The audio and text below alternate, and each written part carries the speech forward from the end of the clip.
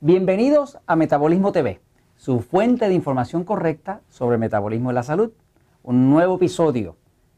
¿Sabía usted que dicen que el animal que más se parece al ser humano es el cerdo? Bueno, yo soy Frank Suárez, especialista en obesidad y metabolismo. Hoy vamos a estar hablando del tema fascinante de cómo es que los cerdos, siendo vegetarianos y comiendo totalmente sin grasa, se ponen tan gordos. Usted dirá, ¿qué tiene que ver eso con nosotros? Pues déjeme decirle, como nosotros trabajamos con el metabolismo y Metabolismo TV se dedica a educar al público sobre cómo mejorar el metabolismo, vencer ese metabolismo lento, adelgazar, controlar la diabetes, todo ese tipo de temas de salud, tiene usted que saber qué es lo que produce la grasa en el cuerpo. Fíjense, por muchos años se nos ha estado engañando en los medios de comunicación, diciéndonos que lo que tenemos que hacer es comer menos grasa. De hecho, yo no recomiendo que la gente coma grasa. De hecho, yo mismo trato de evitar la grasa. Pero fíjese que nos han estado dando un dato incorrecto. Salieron los productos fat free, light, bajos en grasa, y la gente se tiró de pecho a consumir los productos bajos en grasa. Y siguieron engordando. O sea, hace 20 años no habían productos fat free, ni light, ni low colesterol, ni nada de eso. Y sin embargo la gente no estaba tan gorda como ahora. Ahora mismo lo que hay es una epidemia de obesidad. ¿Qué tiene que ver el cerdo con esto? Pues el cerdo nos sirve para nosotros aprender qué es lo que engorda. Fíjense, un cerdo, que de hecho el cerdo es el animal que más se parece al ser humano, definitivamente. Lo han usado así, por ejemplo, muchas de las operaciones que hacen de corazón utilizan las válvulas del corazón del cerdo para reemplazarla por la válvula de un corazón humano. Las víctimas de quemadura humanos muchas veces han utilizado la piel de un cerdo para cubrir la quemadura. O sea, que el, DNA, la célula de un cerdo es mucho más parecida a la de un humano que a la de cualquier otro animal.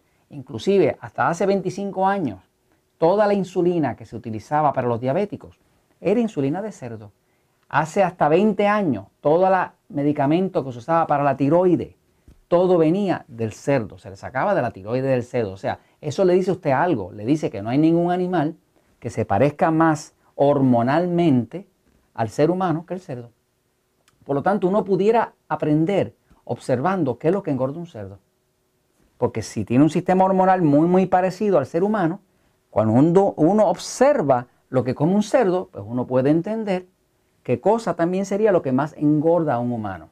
Pues déjeme decirle que es sencillo, quizás usted ya llegó a la conclusión. Los cerdos son vegetarianos, son vegetarianos. Los cerdos no comen carne, los cerdos no comen grasa y sin embargo producen mucha grasa y engordan.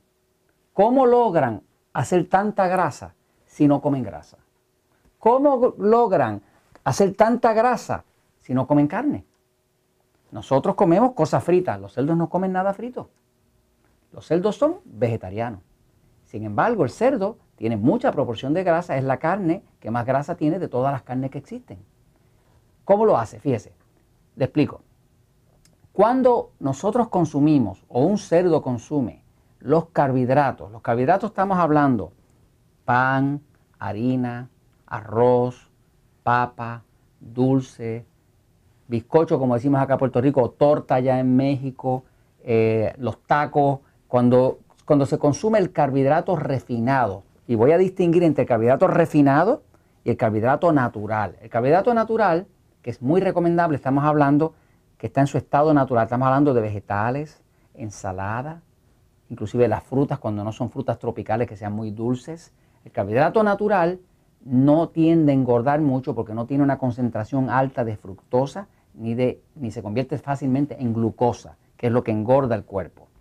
Pero el carbohidrato refinado, y refinado quiere decir que el ser humano lo tomó, lo llevó a una fábrica, lo pulió, lo molió, lo pulverizó, lo filtró, lo congeló, lo empaquetó, lo refrigeró y le hizo todos los idos y todos los hados. Y ahora ese carbohidrato, que ya está tan procesado, el cuerpo se le hace facilísimo convertirlo en glucosa. O sea que usted consume un carbohidrato refinado, pan, harina, arroz, pizza, refresco azucarado, Y eso está tan procesado que el cuerpo lo convierte instantáneamente en glucosa.